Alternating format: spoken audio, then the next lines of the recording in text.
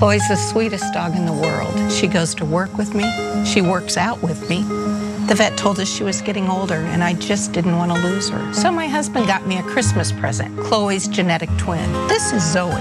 We worked with Viagen Pets and they couldn't have been better. They were always responsive, always caring. I love Zoey so much and I'm glad to know my bond with Chloe will continue.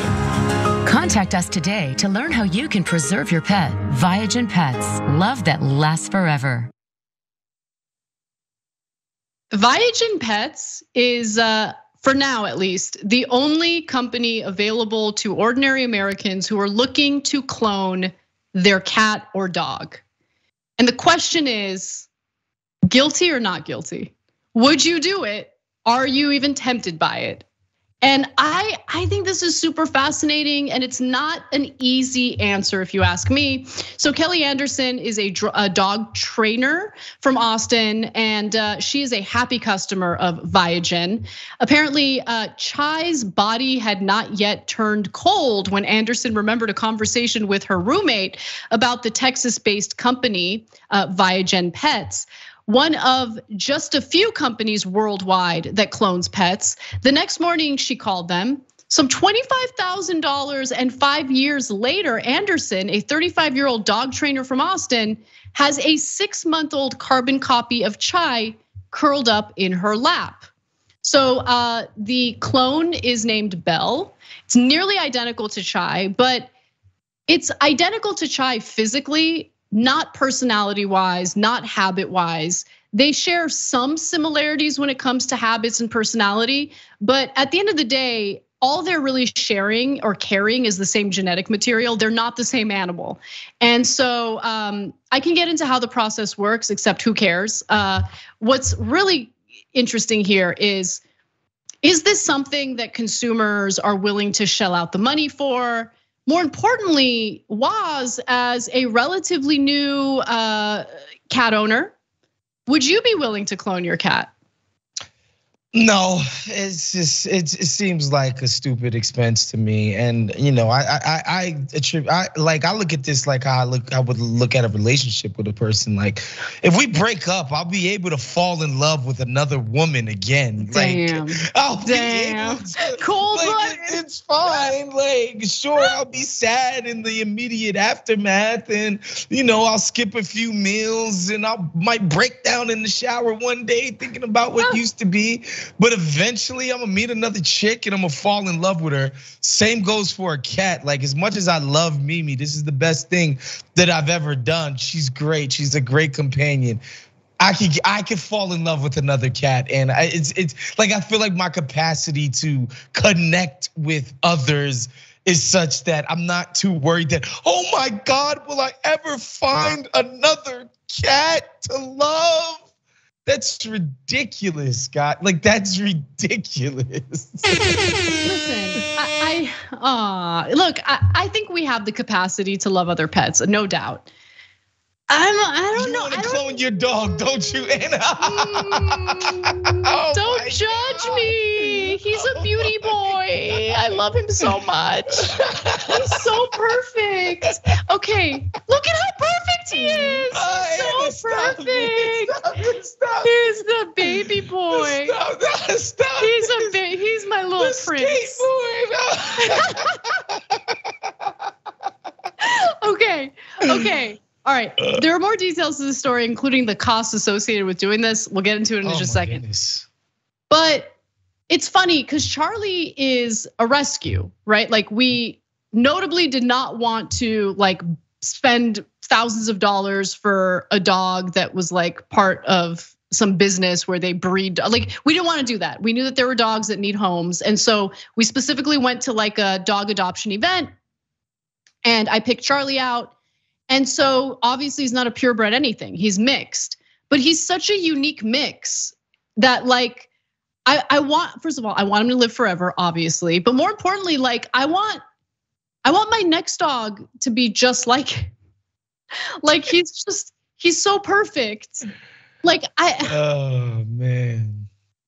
Like he's a mini poodle terrier mix and the terriers included are Pomeranian, Chihuahua, Cocker Spaniel. Like, how do I replicate that? I've been thinking about it for some time. Easy, 25 I, G's. Okay, so let's get to the cost, okay? Um, so it does cost quite a bit. Uh, Viagen Pets clones dogs for $50,000, so double the price that you just mentioned, and cats for $35,000. For those still undecided, the company also offers to store and preserve pet cells for $1,600, an amount that is included in the total cloning cost. So if you want to preserve the uh, you know genetic material, and then later you pull the trigger and you want to clone your pet, you can do that. And the $1,600 is, you know, it's uh, contributed to the overall cost of the uh, procedure or the cloning process. Um, Roberto Novo sold a prized Andy Warhol butterfly silkscreen. He had purchased from a hairstyling client and Warhol friend years prior. John Mendola, a former policeman based on Long Island, also traded his Lexus for a Chevy pickup truck to help pay to clone his Shih Tzu uh, Lhasa mix princess. So like people are are you know they're making arrangements to to come up with the funds necessary to pay for this. Uh, so I just wanted to give you some examples.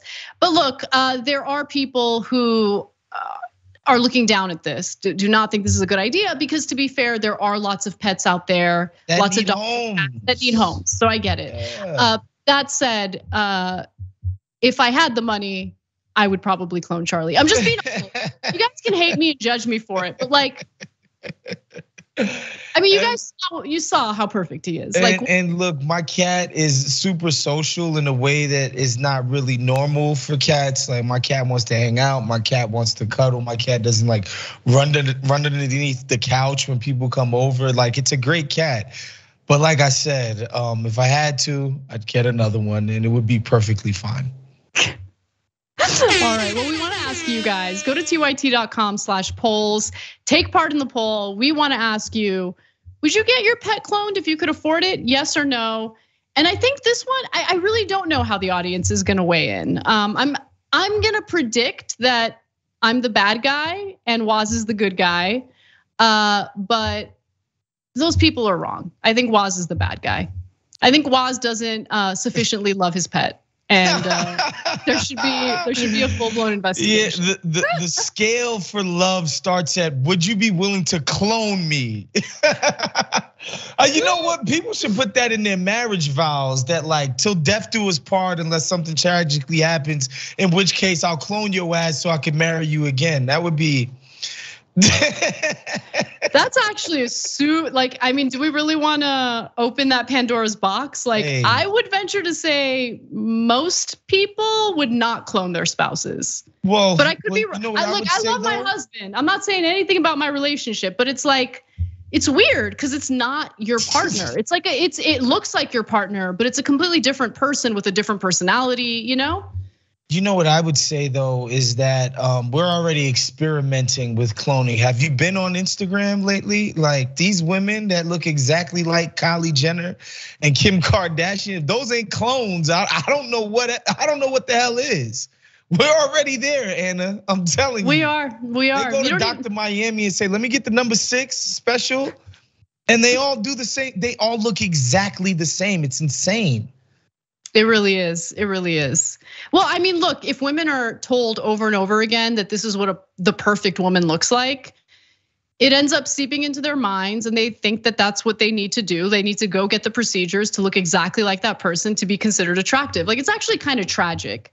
Um, but yeah, you're right. It has been a widespread practice already. It's just a different method of of cloning, you know, a little less scientific, I guess, and more um, procedural. Plastic surgery procedural. Thanks for watching The Young Turks. Really appreciate it. Another way to show support is through YouTube memberships. You'll get to interact with us more. There's live chat emojis, badges. You've got emojis of me, Ana, John, JR. So those are super fun. But you also get playback of our exclusive member only shows and specials right after they air. So all of that all you gotta do is click that join button right underneath the video. Thank you.